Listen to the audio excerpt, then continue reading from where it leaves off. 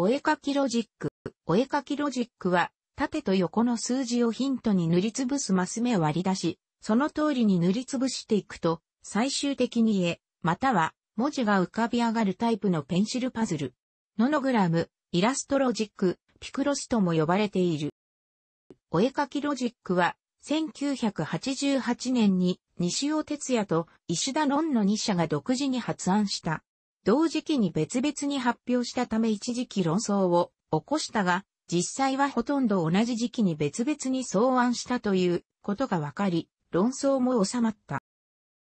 西尾はマトリックスを使用したロジックパズルのマトリックスを利用して絵を描くことを考えた。一般的なロジックパズルにおいてはマトリックスには丸か×を埋めるが、この丸と×を黒マスと白マスにすることを考え、ヒントの出し方を考えて、現在のルールを完成させた。石田は1987年にビルの窓を利用して絵を描くという企画で入選した後、窓の A イコール格子の上に絵を描くパズルを考えた。この石田の思考の過程の一部は、彼女の著書であるノノグラムで見ることができる。このように2社が独自の過程を経て偶然にも同じ形式の問題に落ち着いた。後に西尾は問題を提供しているパズラー誌で石田はパズルの連載をしていた社会新報紙で問題を発表することになるが、偶然にも両氏の発行日は共に1988年7月2日であった。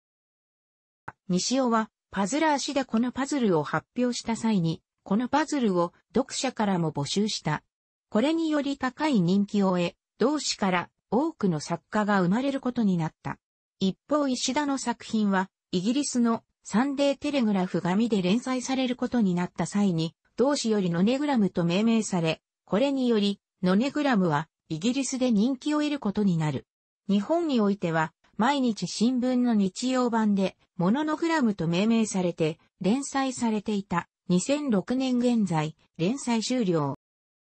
1993年に、世界文化社から、パズラー別冊として、単行本、お絵かきロジックボリューム1を発売し、20万部を売り上げる。これに便乗した類似本が何冊も出版されるようになるなど、お絵かきロジックの人気の火付け役となったと言われる。なお、お絵かきロジックの名称は世界文化社の商標となっており、同名のパズル誌が刊行されている。1994年10月には、日本文芸社が専門誌であるイラストロジック誌を創刊し、学習研究社も1995年4月になって専門誌を創刊した。1995年にサン電子よりゲームソフト、オーちゃんのお絵かきロジック、パズラー監修を発売、スーパーファミコンやプレイステーション、セガサターン等の家庭用ゲーム機で楽しめるようになった。任天堂からは、ピクロス、ピクチャークロスワードの名を冠して、同年にゲームボーイ用ソフト、マリオのピクロスを発売、以降シリーズ化されている。詳しくは、ピクロス、ゲームソフトを参照。2013年10月28日より、スクウェアエニックスは、ピクトロジカファイナルファンタジーという名前で、スマートフォン向け F2P アプリとしてリリースした。ピクトロジカは、クエストとお絵かき、ピクトロジカがある。お絵かきモードでは10、10、または15月15のマスが用意されており、登場するキャラクターの数だけ存在している。こちらは完成すると、キャラクターの形に似た絵が現れる。クエストでは5語マスのパズルしかなく、何かの絵が完成することを前提とはしていない。しかし、4種類の戦闘モードや、どの行から解くかが攻略の鍵となっており、素早く解く、判断力も必要とされる。プレイヤーのレベルや武器、武器のレベルなどもあり RPG の要素もある。1個の数字は連続して黒く塗りつぶすマス目、以下黒マスというの数を表している。ただし、場所までは表していない。例に対しては、次の3通りの可能性が考えられる。数字が複数ある場合、それぞれが連続で黒マスの数を表し、間には必ず塗りつぶさないマス。以下白マスというが最低一つ入る。ただし、白マスの場所と間にいくつ入るかまでは表していない。例1に対しては、次の6通りが考えられる。例2に対しては、次の1通りしか考えられない。複数の異なる数字がある場合は、その順番が黒マスの順番を表している。例に対しては、正解はそれぞれこのようになる。なお、横の場合のみを示したが、縦の場合も同じである。例に対しては、次の3通りが考えられる。基本的なルールはこれだけである。参照チュートリアル、コンセプティスアートロジック。ここでは、一列に10マスあるパズルを解くことを想定している。また、スペース節約のため横の列の場合のみを示すが、縦の場合も解き方は同じで、ここのすべての文章を、左を上に、右を下に読み替えれば、縦の場合の解き方になる。第一段階では、解き始めで何も手がかりがない状態なので、手がかりなしでも、黒マスか白マスかわかるところから確定していく。ここでの作業を漏らすと、途中で行き詰まるので、確実にやっておかなくてはならない。まずはじめに行うのは、例と最高値、ここでは10から処理するということである。何も考えなくても例の列は全部白マスであり、最高値の列は全部黒マスであることが明らかなためである。白マスであることが確定したマスには、下のように印、よく使われるのは、×をつけておくと良い。ただ、あまり大きな印をつけると、出来上がった時に絵が見づらくなるので要注意である。複数の数字がある列で、数字と数字の間に白マスが一つと仮定して計算すると、ちょうど最高値と同じ数になる列は、一通りの可能性しかないので、数字と数字の間に1マスだけ白マスを入れて塗りつぶす。例は、7と2の間には、白マスが1マスしかないと仮定すると、71プラス2イコール10、1は、白マスの分、以下同じで最高値と同じ値になるから、次の一通りしかない。この処理ができることは、数字が細かくなればなるほど気づきにくいので、注意が必要である。例えば次のようなものは、41プラス21プラス2イコール10だから、である。もっと細かい場合もある。は、11プラス21プラス11プラス11プラス1イコール10だから、である。例えば、次の列はどう処理するか。この列には次の3通りが考えられる。この場合はどうしようもないかというと、そうでもない。よく見ると、どの場合も真ん中の6マスは必ず塗られていることがわかる。したがって、この列は、このように一部が確定する。もっと言えば、一番左のマスが黒マスだと仮定した場合と、一番右のマスが黒マスだと仮定した場合で、共通する黒マスは確定する。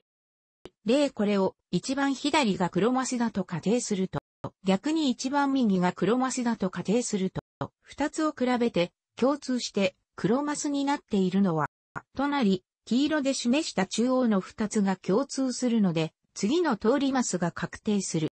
複数の数字がある場合についても、数字と数字の間の白マスを1マスと仮定すれば、同じことができる。ただし、左と右から塗った場合を比べたときに、黒マスで共通していても、別の数字に由来する場合は共通とは言わない。下の例を参照。例一番左が黒マスと仮定して、一番右が黒マスと仮定して、二つを比べると共通して黒マスになっているのは、ここで黄色のマスは同じ4で塗られているが、緑のマスは一番左から塗った場合は2、一番右から塗った場合は4で塗られているので、黄色のマスのみ確定である。したがって、次のように確定する。数のような場合の可能性を考慮すると緑色のマスは確定されないことがわかる。第一段階で確定できるのはここまでである。あとは、第一段階で確定したマスを手がかりに、さらに確定したマスを増やしていく作業に移る。第二段階で確定したマスも、新たに確定したマスを増やす手がかりになるので、時終わるまでここの作業を繰り返すことになる。なお、これ以降は、すでに確定している黒マスは、茶色のマスで、すでに確定している白マスは、茶色のバツで、新たに確定した黒マスと白マスはそれぞれ黒マスと黒いバツで表すことにする。数字の合計とすでに確定した黒マスの数が一致する場合、まだ確定していないマスはすべて白マスに確定する。また、まだ確定していないマスと黒マスに確定したマスの合計が数字の合計に一致した場合は、まだ確定していないマスは黒マスに確定する。例1この場合、数字1に対して、すでに一つの黒マスが確定しているので、これ以外の黒マスは存在しない。したがって、と、白マスが確定する。例にこの場合、この列には合計4マスの黒マスがあるのだから、まだ確定していないマスが黒マスでないと、黒マスの数が足りなくなってしまう。したがって、と、黒マスが確定する。数字と数字の間には、白マスが1マス以上入るので、黒マスの連続が止まっていることがわかれば、その両隣は白マスに確定である。例1個の場合、すでに塗られている黒マスは2に由来して連続していることは明らかである。数字と数字の間は必ず一つ以上の白マスがあるので、白マスが確定する。例2、例1の場合と似ているが、今度はすでに確定しているマスは1に由来するものか2に由来するものか、この時点では明らかでないので、新たに確定できるマスはない。一番外側が確定すると、外側の数字の表す黒マスは確定である。例1のように一番左が確定している場合、自動的に3が表しているのは、と確定する。前項で述べた黒マスの両隣を止める処理により、左から4番目に×をつけることも忘れないでほしい。例2と一番右が確定している場合は、自動的に2が表しているのは、と確定する。右から三つ目の罰は、黒マスの両隣を止める処理によるものである。連続して取れるマスが数字より少ない場合は、その部分は白マスだと確定する。例1は、右端から黒マスを取ると2マスしか取れないので、右端には黒マスは入らない。したがって、と確定する。例2は、×と×の間には2マスしか取れないので、そこには黒マスは入らない。したがって、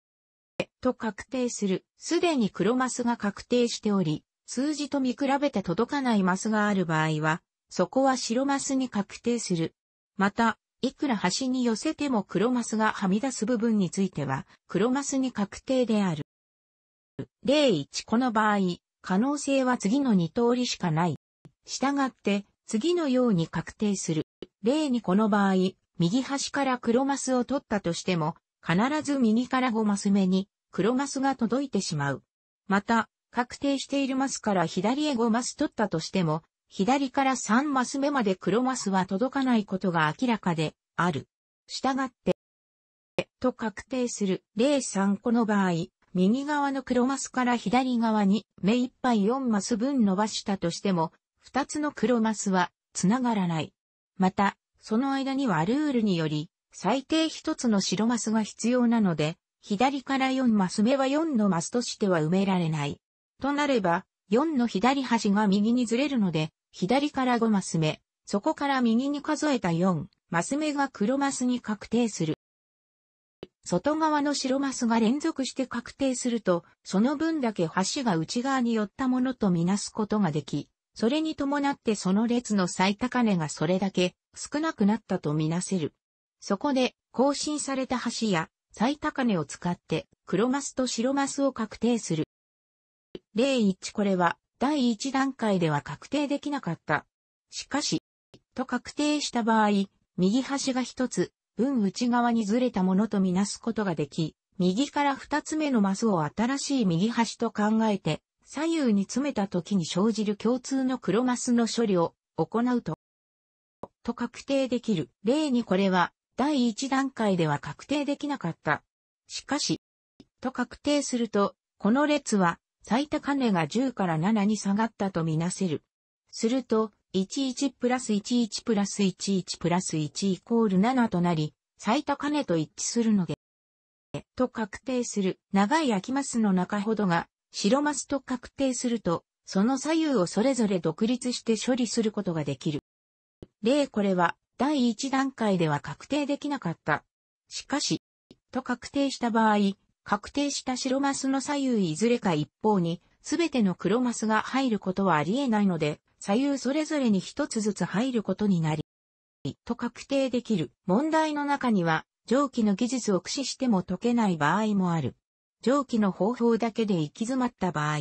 任意の箇所を仮に塗りつぶす箇所と仮定する。さらに、それを手がかりに問題を解いていった場合に、後に矛盾点が生じてしまったら、そこは、実は塗りつぶしてはいけない箇所だったことがわかる。なお、矛盾点が発生するまでの展開が長いほど、先読みも困難であり、苦戦を強いられる。故に、この方法は、技術の中でも高度な熟練が要求される。ゲーム、ピクロス、ピクロス NP では、彫り、NP では塗り、バツ、小があるが、試し彫り、NP では試し塗りマークという操作性は、マリオのスーパーピクロス内で登場した。基本ルールでは、白黒の絵しか描けないため、複数の色を使用できるようにしたルールも存在する。最も一般的なものは、数字ごとに色が指定されていて、数字に指定された色で塗るものである。この場合、同じ列に数字が複数あっても違う色なら間に空白が入らなくとも良いというルールが追加される。同色なら基本ルール同様1マス以上分ける。解く際には以下の点に注意する必要がある。ただ、ドット絵を描いても必ずしも問題として成立するとは限らない。答えが一つに絞れない場合があるためである。コンピュータ上で問題作成ができるソフト等では問題として成立するかどうかを自動的に判定してくれる機能がついているものもある。塗りつぶすマスを正方形を斜めに切った三角形にしたルールも存在する。このようなものをダイヤモンドロジックあるいはダイヤロジックなどと呼ぶ。100、100マスなど膨大なマス数になってくると、まみれるマスを探すことが非常に手間になってくる。ここで、第一段階でまみれるマスを計算によって求める方法がある。この3つの段階で求めた数から、行 A のマス数、縦もしくは横のマス数を引き、求まった正の数が、第1段階で、数 B でまみれる、マス数である。0以下になった場合は、行 A の数 B は、第1段階ではまみれない。塗る一致は、第1段階の解き方を参照。楽しくご覧になりましたら、購読と良いです。クリックしてください。